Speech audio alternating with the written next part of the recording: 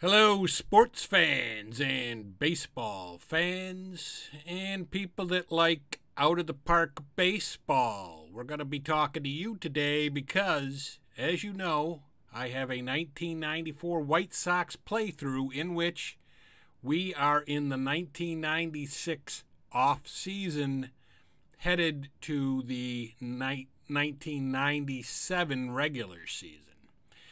So where we are now is October 25th of 1996, which was five days after my birthday in 1996, my 20 no 31st birthday would have been my 31st birthday. So um, anyway, um, we uh, that's where we are, and I am going to see who we're who we're going to get. I don't think we've gotten any new free agents yet. And again, I want to point out, I'm just the manager of the team. I am not the general manager because I don't like the general manager stuff that I got to do. It's just a big pain in my butt. As a matter of fact, I um, have a season that I'm doing as general manager to try to experiment and play around with it and try to get used to it and try to like it, but I'm still not there yet. So I am the manager of the White Sox. Um, we have a general manager who goes out and gets me players. And during the offseason, I love that system. I got to tell you, I love it a lot. He is the one that goes out and trades players. He's the one that goes out and signs players. He's the one that has to deal with the owner and the budget and uh, has to deal with who he can sign under the budget. I don't have to do any of that. All I got to do is quick sim through, you know, it's just keep jumping through the off season and eventually see who we have. The only time that it's a pain in my butt to be just the manager is during the season when I have players like, particularly in my bullpen, when I've got guys that are getting tired and I have a dogged bullpen and the general manager either doesn't bring any uh, fresh relievers up from the minor leagues or he brings up a guy I, I wouldn't want. Um, really, it's more so that there are times he just won't even bring somebody up from the minors. I mean, even somebody I don't, I wouldn't normally like to see brought up is fine if he's fresh. So that's the only time it's a pain in the butt. Um, but every other time, even with injuries during the season, somebody gets injured, he has to put the guy on IL and he has to figure out who he's going to bring up from the minors. I would rather have him do that. So that's cool. Um, now I know that if I were the general manager, I could even just designate all of those jobs to my assistant general manager. But then, you know, if you're just the general manager and you're not the manager and you're designating all of your work to an assistant general manager, you're really not doing anything. So at least here I am managing big swaths of games throughout the season and trying to win. So anyway, we will. Um, uh, you know what? This vote for awards, I hate this. I hate voting for awards. I'm just going to. Uh, I don't even want to. You know, let me see if I can just submit the ballot. No, ballot is not complete. All right, I'm just gonna. I'm just gonna fast forward through it. We're gonna fast forward to this date, and we're gonna see what we can do. Um, let me go to um, off-season center. I'm going to auto-play the next week. And then we're going to look at some of the news articles and see if I got anybody and if we did, who I got. Let me go to my manager's office. So let's see. Montreal and Detroit swapped uh, Floyd for Fryman. Um, batting stats, leaders, something like that. Single season records. Okay, so we're all caught up here. Let me go. Yeah, I definitely want to go through all that stuff. I'll, I'll tell you right now, I'm not an awards guy. I hate awards. I hate the real life awards. I hate hate, hate the awards. I don't care who the best player was, who the batting leader was. I don't I don't just care about any of that stuff. Now, I know there's probably people out there saying, "How can you not care about that stuff?" Well, I don't. I don't know how. So, uh, let's see. Has decided to stay put. Okay, so Chris Hoiles is staying with the Orioles. We're not getting Chris Hoiles for sure. Um, let's go a little further. But anyway, I hate awards. I hate voting on them in games. I hate vote, voting on them in my strat leagues, and I hate them in real life. So, sorry. If, if that makes you mad, hey, great. All right, so free agency filings. Let's go to the day after the free agency filings and see what we can do. All right, I got a new personal message, and it looks like my inbox is full now. The commissioner's office has informed you that Luis Aquino has declined arbitration. He becomes a free agent. Okay. Um, let's see.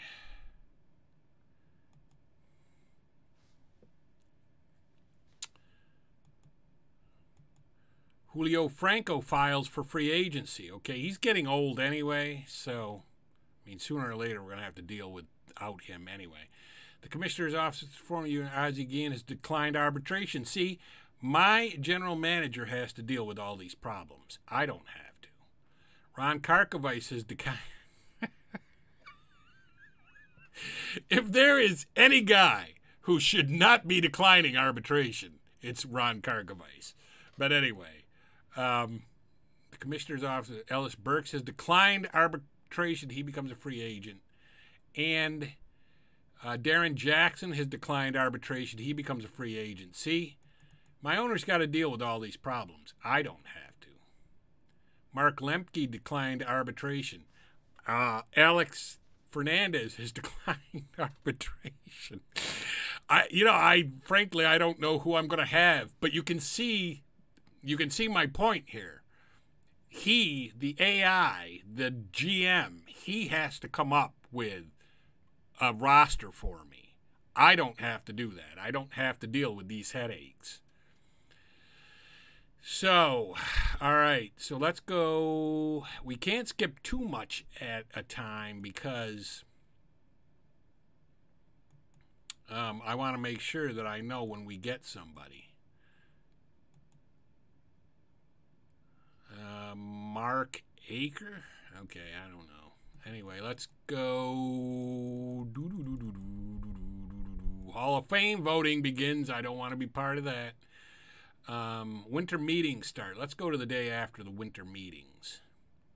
So we're going to be zooming ahead here. Carlos Baerga. The signing of Carlos Baerga results in the following compensations. We got Carlos Baerga? Man, I don't even don't even get me started on that. I mean, I love that idea. So uh, let's see. Uh, St. Louis traded somebody, probably not to us though. Um, career pitching leaders, Los Angeles. Um, Brown, Adam Harper. Adam Harper? Okay. All right, so our fans are ecstatic that you signed Carlos Baerga. Yeah, not only my fans, but me. Now, of course, we had like 18 guys leave, so it's got to be more than just Baerga. Baerga reaches an agreement with us. Now, so now let's recap. We have Frank Thomas, we have Carlos Baerga, we have Ken Griffey Jr. Ah man, that's that's that's a man. That's a great team. uh, so let's see. Winter meetings. Oh wait, yeah, we we still didn't get past the winter meetings because that um, message interrupted me getting there. Todd Hundley. We signed Todd Hundley. Man, he is doing great. This, and that's another thing. The computer knows exactly what it's doing. I don't. As a general manager, I just don't. I like managing games. Um, okay.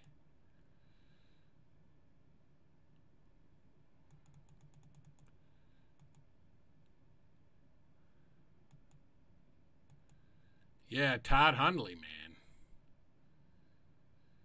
Let's look at see what Todd Hundley's doing. Um, last year in '96 in Out of the Park, he. Um, let me see. Let's move me up here so we can see what he did. He hit 238. All right, maybe I'm not that excited about it. Although he's better than Karkovice and and uh, and Pratt. Um, the year before that, he hit 273. The year before that, 231. All right. Uh, okay, maybe it's not so great that we're doing that, but anyway, let's go back to the let's go back to the office here and see what else we've got. Like to inform you, we've made some moves that involve your team. Todd Hundley is signed as a free agent. We knew that. Todd Hundley agrees to terms. And Olerud is signed with the A's. So we're not getting him. So let's go. Let's move it, move it, move it. Rawhide. Move them up. Oh, man. Another personal message interrupting me. We got Dante Bichette. All right. Man.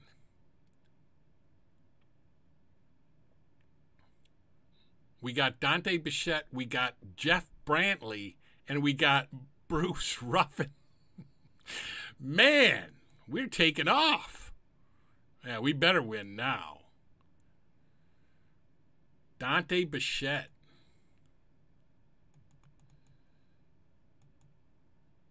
Bruce, two minutes for Ruffin.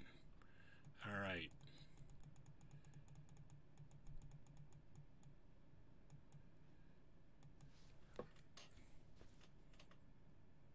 I can't even wait to see what else he comes up with. If he comes up with nothing else, he's done a pretty good job.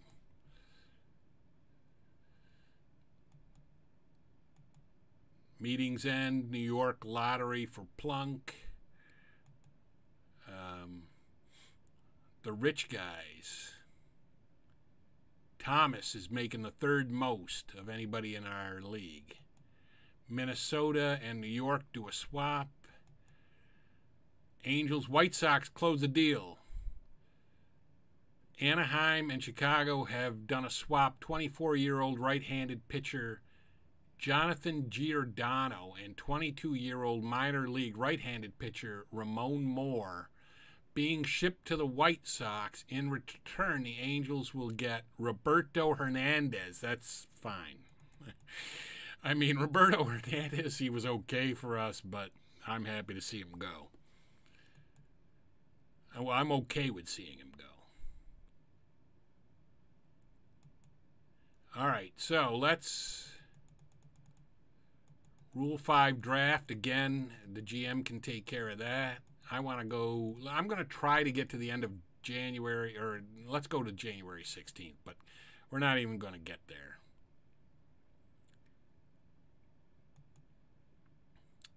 Received Murado from, yeah.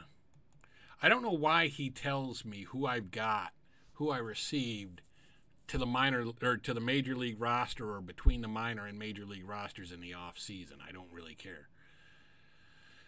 Uh, let's see. Yep. All right. So anyway, um, yeah. See, we didn't even get out of December. I'm going to try to get right to that date. No, no. These messages keep interrupting me. Uh, Tom, let's see, Tom Edens. All right. Let's see if we can get to the 15th of January. Can you just get me to the 15th of January? I just want to get there. I don't really, I don't almost care unless, let's see, received Chris Carpenter. All right, nice.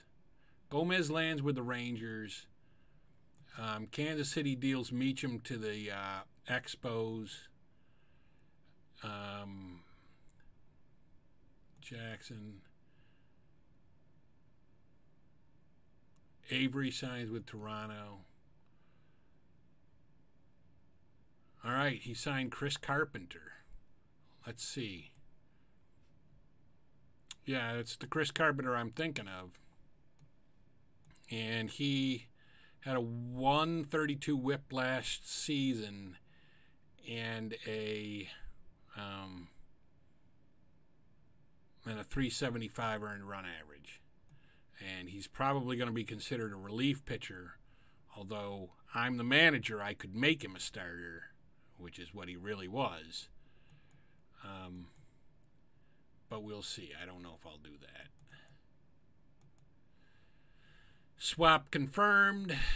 We're okay. We're all up, up to. Uh, we're doing okay trying to get through January. I mean, as he does less, as he as he makes fewer deals, that'll involve me less. Detroit, Los Angeles deal. Swap to Kansas City, Houston, Milwaukee make a deal. Seattle Hall of Fame voting results, which I don't care about. We've already established that. Let's try to get to the uh, start of February. I'm trying. What I'm trying to do in this episode is get us to the regular season to the start right before the start of the regular season. Okay, a swap, split leaders, active career batting leaders, Cedeno. Okay, White Sox trade play. St. Louis and Chicago made a swap. Um, Cardinals 30 year old right handed pitcher Rene Arocha and the White Sox 25 year old center field Jermaine Allensworth. I liked Allensworth. Man, all right, well. Boggs agrees to three-year deal with the. Uh, it looks like the Dodgers. We are at the start of February. I'm going to try to get to March 1st, but I'm probably not going to make it without him giving me a, some kind of update. Yeah. Received Vinny Castilla I didn't even know we had him. All right, we got a swap. Officials from Chicago confirmed that 29 year old Todd Pratt has been sent to Cleveland. In return, the White Sox will receive Mark Lewis and Greg Shell. Man, my GM is going. He's he's burning the midnight oil here. You got to love it. All right, so where are we? February 17th. See, we didn't really even get close to March. I'm going to try to get to March 1st here. Nope. Okay, willing to resume talks. Don't really care. Let's try to get to March 1st. Okay, Murado. Cincinnati Houston deal confirmed. Trying, still trying to get to March 1st or 2nd or somewhere in that territory. All right, let's see what happened here, or let's see what happened.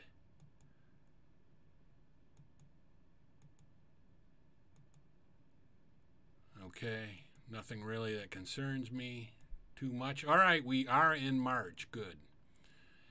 Um, preseason begins. You know what? I'm going to stop this episode with the preseason starting. So we're going to get. I'm going to go right up to the day before the preseason. We'll see what happens.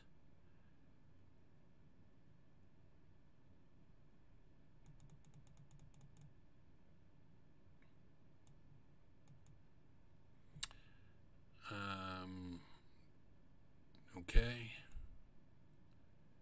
Today, no games. All right. So. All right, so we're at the point where I think the preseason's going to start, and I can make my preseason lineups if I want to, whatever. Um, we'll just take a look at the roster, I suppose. Um, rosters and transactions, yeah. And so you can see we have uh, Wilson Alvarez. Let's go. Let's just look at this at the pitching. Let's look at the starting rotation. You got Alvarez, Beret, Miranda, and McDowell. and I have to put one of those one of these guys into the starting rotation. And I can do that with Chris Carpenter. And I might just do that. I think I'm going to try to do Chris Carpenter as our fifth starter. So that would be our that looks like a, a decent rotation. Um, let me see if Chris Carpenter's listed as a starting pitcher. Um, see, it says expectation bullpen, but I mean that may not necessarily happen. Um, uh, but I'll look at it. I'll take a look at it. Um, let's go to White Sox um, lineups and depth charts, and you know we'll have to fill this in. But we've got. Uh, let's see who we have.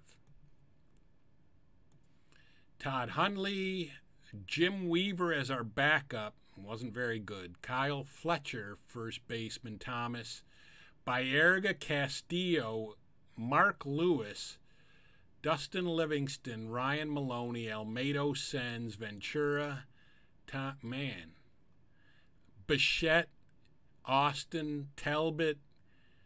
Yeah, this is this is going to be a good team. I think this will be a pretty good team. But anyway, that is going to be it for this episode. And um, you're going to have to tune in next time. Now, I'm probably going to, the next time it's probably going to be the start of the regular season. I'm going to zip through the preseason. I'm going to figure out who should be starting, who uh, should be in the rotation, who I'll put in the bullpen. He'll probably decide different guys to be on the active roster than are on it right now. So, the next episode will be the start of the regular season, and I will get through the preseason. So that is going to be it for me, Sportsman Z, Bob Zuhlke, signing off.